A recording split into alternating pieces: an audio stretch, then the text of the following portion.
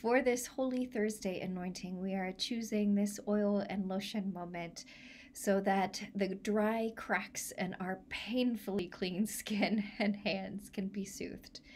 And we wanted to also get to those same cracks in our body and hearts and spirits that fear and betrayal and violence and distance cause.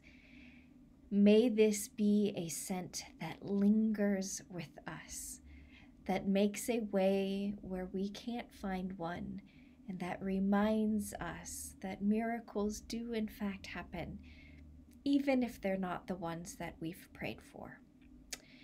Life will bring its scars, and battles will leave their mark, and we are in the midst of a very strong one right now. Tonight, we remember, though, also another battle and how in the midst of battles there is also strengthening, and how in the midst of these hard moments of life there is also the power and the capacity for resilience. These are hard won blessings, awful days that we choose not to waste and to turn into wisdom.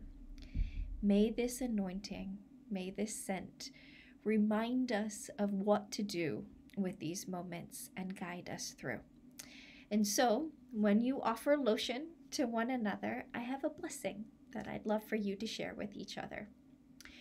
Remember your salvation that was wrought for you 2,000 years ago on the cross.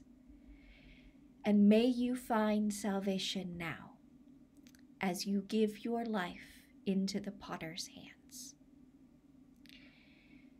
And from those hands and from that shaping, may you always look to our full salvation that will come along with all of creation when Christ returns in final victory and God's will is done on earth as it is in heaven. Amen.